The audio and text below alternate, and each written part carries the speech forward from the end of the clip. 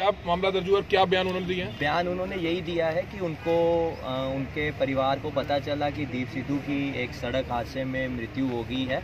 इसकी इन्फॉर्मेशन के बाद वो लुधियाना से सोनीपत आए। सोनीपत आकर उन्होंने जो उनकी को पैसेंजर थी रीना उनसे बात करी और बातचीत करने के बाद उन्होंने हमें रैश और नेग्लिजेंट ड्राइविंग की शिकायत दी जिस पर हमने दो सौ उनासी तीन सौ चार ए में मुकदमा कायम किया है उस ट्रक ड्राइवर के खिलाफ जिसका ये ट्रक था। सर इंक्वायरी ज़रूर करें ब्रेक में लगाई थी निशान बहुत थे उसके। देखिए ब्रेक दीप सिद्धू की गाड़ी के लग रहे हैं। वो सीन ऑफ़ क्राइम टीम हमारी इंस्पेक्ट कर रही है उस चीज़ को।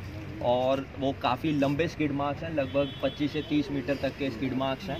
तो वो सीन ऑफ़ क्राइम जो हमारी टीम है वो उसको रिकंस्ट्रक्ट करके अपनी रिपोर्ट हमें जल्दी सर कोई ड्रिंक एंड ड्राइव का मामला तो नहीं सामने आया? गाड़ी में हमें लिकर की एक बॉटल ज़रूर मिली है। इनका डिसीज़ का हमने विसरा और बाकी चीज़ें ली हैं ब्लड सैंपल्स लिए हैं। वो एफएसएल भेजे जाएँगे उसके बाद ही हम इस सर कंक्लूजन की बोतल यूज़ है हमें कोई एक, स्मेल नहीं है आई? एक सवाल का एक ही बारी में जवाब दे सकता हूँ। रेस्क्यू टीम कह रही थी हमें कोई स्मेल नहीं आई देखिए वो रेस्क्यू टीम ऑफिशियल वर्जन नहीं हो सकती। ऑफिशियल वर्जन जो एफएसएल की रिपोर्ट आएगी और डॉक्टर्स की जो फाइनल रिपोर्ट आएगी उसी के बाद लिकर बोतल यूज़ है या पोस्टमार्टम फिर- रिपोर्ट अभी वो तक पार्शियली है। वाहन जो है वो काफ़ी चलते हैं लेकिन लाइटें बंद है। दुर्घटना देखिए देखिए ये हमारी एक इन्वेस्टिगेशन का विषय है। इसको हम अपने जो हमने अपनी पॉइंट्स ऑफ़ इन्वेस्टिगेशन बनाए हैं उसमें हम एच से और के की जो मैनेजमेंट है उनसे भी ये क्वेश्चन पूछेंगे कि उस समय लाइट्स बंद थी या चल रही थी या कोई कट था या क्या था। वो इन्वेस्टिगेशन के दौरान हमारा पॉइंट है और इसको हम ज़रूर टेक जी है, है हर रोज दुर्घटनाएँ होती है सर। देखिए ये हम टाइम टू टाइम टेकअप करते हैं एच एस और बाकी एजेंसी से तो इसको भी हम take up सर रीना ने बताया हो कोई ड्रिंक है उन्होंने की हो? अभी इस विषय पर उनसे बात नहीं हुई है क्योंकि प्राइम प्राइमरी कंसर्न हमारा ये था ये जानना कि एग्जैक्टली क्या हुआ है कब उन्होंने के चढ़े हैं कहाँ से चढ़े हैं वो क्लियर हो गया है।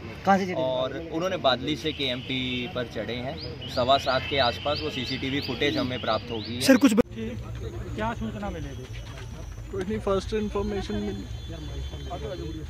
जी एक मिनट भाई जिते आना क्या सूचना मिली थी जी ਐਕਸੀਡੈਂਟ ਦੀ ਸੂਚਨਾ ਮਿਲੀ ਸੀ ਕਿ ਕੱਲ ਕਰੀਬ 8 ਵਜੇ ਤੇ ਆ ਕੇ ਅਸੀਂ ਦੇਖਿਆ ਫਰਸਟ ਇਨਫੋਰਮੇਸ਼ਨ ਤੋਂ ਤੇ ਹੋਰ ਫਰਸਟ ਪ੍ਰੀਲਿਮਰੀ ਤੋਂ ਲੱਗ ਰਿਹਾ ਵੀ ਇਹ ਐਕਸੀਡੈਂਟ ਹੀ ਆ ਬਾਕੀ ਸਾਨੂੰ ਪੁਲਿਸ ਏਜੰਸੀ ਜੋ ਕਰ ਰਹੀ ਆ ਸਾਰੀ ਇਨਵੈਸਟੀਗੇਸ਼ਨ ਉਹ ਤੇ ਫੇਥ ਆ ਤੇ ਬਾਕੀ ਪੁਲਿਸ ਇਨਵੈਸਟੀਗੇਸ਼ਨ ਤੇ ਆ अच्छा कहाँ ले जा रहे हो अभी गाँव में सर अभी अभी क्या लुधियाना में होना है अंतिम संस्कार उनका जो सड़क हादसे में मौत हुई है आज पोस्टमार्टम कराया जा रहा है क्या कहना चाहेंगे इसको नहीं अभी बोर्ड से पोस्टमार्टम हम करवा रहे हैं वीडियोग्राफी भी करवाएंगे उसकी जी और अभी पोस्टमार्टम शुरू हो चुका है सर रात को आप मौके पर पहुंचे तो क्या देखा कि जो मेन साइड पर खड़ा था जो ट्राला था या साइड में खड़ा था क्योंकि राइट साइड जो है दीप सिद्धू वाली डैमेज हुई है वो ट्राला खड़ा नहीं हुआ था वो भी अपनी तरफ जा रहा था उसने ब्रेक ले लिए और पीछे से जो गाड़ी आई थी इनकी स्कॉर्पियो उसके ब्रेक नहीं लग पाए इसलिए तो कोई साजिश तो नहीं है क्योंकि कुछ इनके दोस्तों ने अभी तो दोस्तों ने चल कहा है रही कि है। साजिश भी हो सकती है कोई प्लानिंग नहीं अभी अभी हमारी तफ्तीश चल रही है एसपी साहब भी अभी मौके पे गए हुए हैं एसएचओ साहब भी यही हैं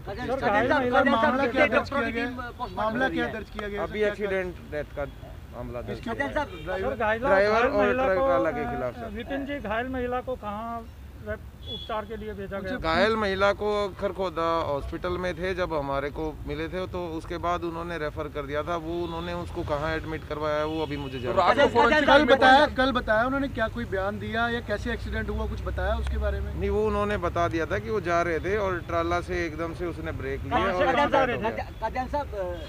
कहाँ से कहाँ जा रहे हो थे? गया। कहाँ से कहाँ जा रहे थे ड्राइवर नहीं अभी ड्राइवर को अब नहीं सर क्या कहाँ से सर आइडेंटिटी लोकेट कर रहे हैं क्योंकि नंबर उसका बहुत क्लियर है विजिबल हाँ है तो उसे हाँ क्या। क्या, क्या कार्रवाई की जा रही है हाँ वो आइडेंटिटी लोकेट कर रहे हैं जिसका हमने नंबर ले लिया है साइबर सेल से।